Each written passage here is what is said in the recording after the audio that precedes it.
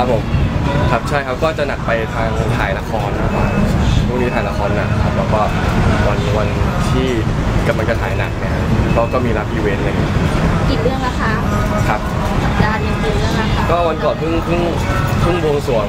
พี่นาคไป ใช่ครับแล้วก็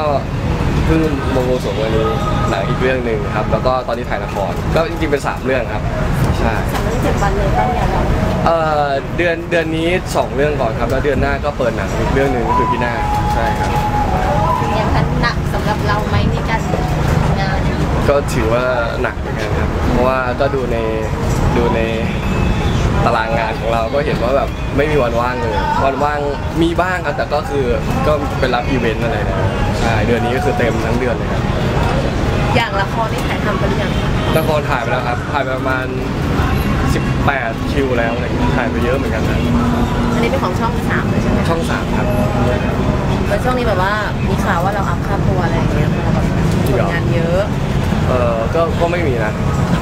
มีขึ้นบ้างไหมคะ เพราะว่าแบบเราก็ฮอตขึ้นอะไรเงี้ย ก็ถ้าถ้าเทียบกับที่ทำงานมาตลอดก็ก็ขึ้นแน่นอนครับ เพราะว่าทำทำมาหลายปีแล้วสี่ห้าปีห้าหกปีแล้วอะ ใช่ก็ต้องมีขึ้นบ้างตามตามอายุตามอายุการทำงานครับแต่ว่าก็ยังไหวใช่ไหมคะคนจ้างงานอะไรเงี้ยก็ถึงถึงงานเยอะไงเพราะค่าตัวไม่แพงครับผม เราเราเด็กค่าตัวอะไรแบบนี้ ครับ ก็อันนี้อันนี้กัก็ไม่ค่อยรู้มากเท่าไหร่เพราะว่าคุณแม่เป็นคนรับงาน แล้วก็มีผู้ช่วยที่คอยดูแลใช่ครับก็จะเป็นผู้ใหญ่คุยกันมากกว่าบางทีกัก็ไม่รู้ว่า แต่บางบางทีก็ไปทำงานอย่างเดียวอะไรอย่างเงี้ยที่เราบอกอัพค่าตัวขึ้นนี่แบบว่าอัพค่ายังคะยังก็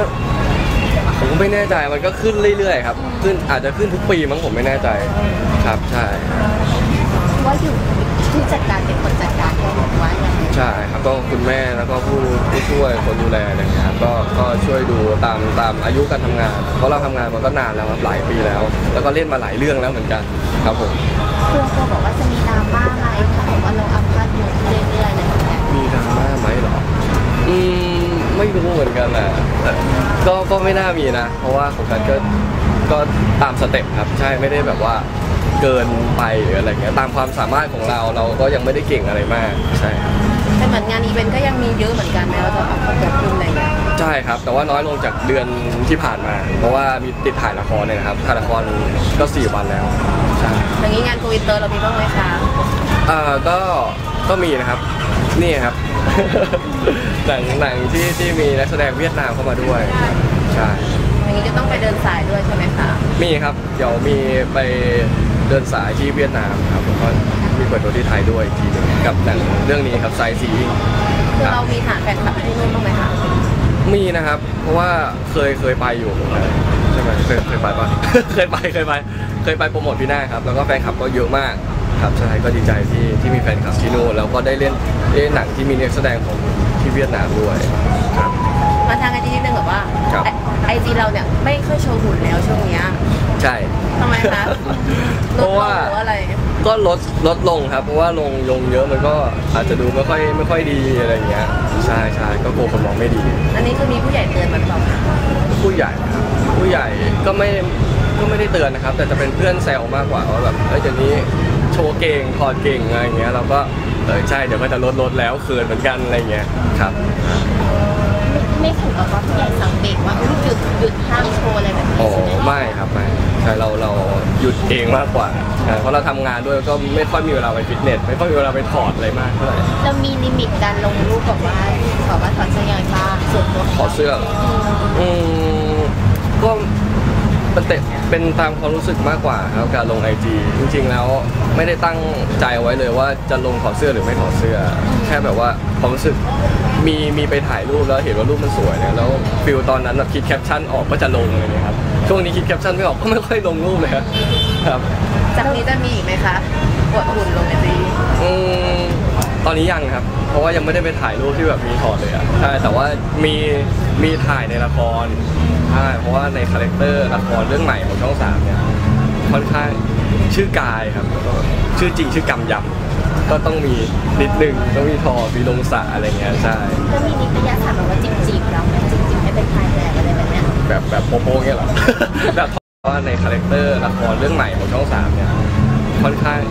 ชื่อกายครับแล้วก็ชื่อจริงชื่อกำยำก็ต้องมีนิดนึงต้องมีถอดมีลงสระอะไรเงี้ยใช่ก็มีนิตยสารแบบว่าจีบจีบๆเราไหมจีบจีบๆให้เป็นถ่ายแบบอะไรแบบเนี้ยแบบแบบโป๊โป๊เงี้ยเหรอแบบถอดถอดอะไรเงี้ยเหรอครับอ๋อไม่โป๊ไม่โป๊ ครับก็ถอดถอดก็ยังไม่มีนะครับยังไม่ยังไม่มีครับยังไม่มีเลยครับส่วนตัวอยากเราอยากรับไหมแบบว่างานแบบสปอร์ตไทยแบบสปอร์ตอะไรแบบเนี้ยเซ็กซี่ชุดว่ายน้ำจริงๆก็เขินนะขี้ก็เป็นคนขี้อายอะแล้วถ้าถอดแบบคนเยอะๆก็ก็เขินเหมือนกันใช่แต่ว่าก็ถ้าผู้ใหญ่เอ่อให้โอกาสมาแล้วเราก็ต้องมาคุยอีกทีว่าเป็นยังไงก็ก็อาจจะรับก็ได้นะครับใช่ limit เราเราจะบอกว่าได้เท่าไหร่ใชุดว่ายน้ำมีไหมหรือว่าโอ้ชุดว่ายน้ำหรือว่าเป็นสปอร์ตอะไรชุดว่ายน้ำนี่มันยังไม่กล้าครับใช่ แต่ว่ามีมีเล่นของซีรีส์จีนอยู่เหมือนกันมีชุดว่ายน้ำมันเป็นการถ่ายถ่ายละครถ่ายหนังเนี่ยยังโอเคครับแต่ว่าถ้าถ่ายลงเลยที่เป็นชุดว่ายน้ำอย่างเดียวนี่คงไม่ไหวครับใช่ยังยังไม่ไหวครับก็ขอแนวสปอร์ตไปก่อนเนาะใช่อาจจะแบบแค่ช่วงท่อนบนอะไรก็ก็พอครับใช่ช่วงล่างไม่ไหวครับโอเคหัวใจบ้างหัวใจตอนนี้เป็นไงบ้างใช่ครับหัวใจ ว่างครับเห็นโอ้เห็นเขาบอกว่ามีห้างมีภาพที่เราแบบว่าเคยไปสาวสาวเดินห้างอะไรอย่างเงี้ยอ๋อ ในห้างเขาบอกว่าคนนั้นแบบเป็นเป็นแฟนเราตอนนั้นคนนั้นก็แบบคุยคุยๆกันอะไรเงี้ยครับ แต่ว่าก็ไม่ได้คุยแล้วใช่ก็ความรักวัยรุ่นนะเนาะตอนนี้ใช่คือโสดนะคะใช่ครับใช่มีคนเข้ามาบ้างไหมคะก็ตอนนี้ก็ยังไม่มีนะครับศูนย์ศูนย์เลย คำว่างว่างครับแต่ว่าเราเจ็บกับเจ็บกับรักครั้งเก่าหรือเปล่าเอ่อก็ก็ไม่นะครับ แค่แค่รู้สึกว่าเข้าใจความรักมากขึ้นแบบว่า เอ่อบางทีก็ช่วงเนี้ยเราก็ทำงานเยอะอะไรเงี้ยคนที่จะเข้ามาไม่ใช่ว่าโชคดีนะครับผมว่าอาจจะแบบว่าสงสารเขาด้วยซ้ำที่เข้ามาช่วงนี้ เพราะว่าเรางานเยอะอะไรเงี้ยเราไม่มีเวลาให้ดูแลเขาได้ไม่ดีพอแล้วก็จะเอาใครเข้ามาเราก็ต้องคิดเยอะเหมือนกันนะครับก็เลยแบบยากที่จะเข้ามาตอนนี้คือโฟกัสกับงานไปก่อน ใช่ยาวเลยใช่ไหมใช่คะครับประมาณนั้นโอเคนะคะขอบคุณครับเดี๋ยวสกู๊ปด้วยนะคะ